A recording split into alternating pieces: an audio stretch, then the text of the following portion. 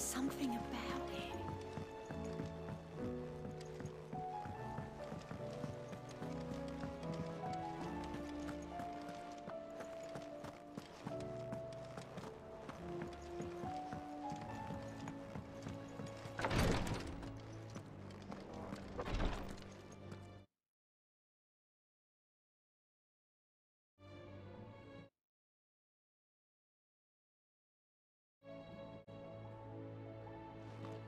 Clive, I wanted to give you something.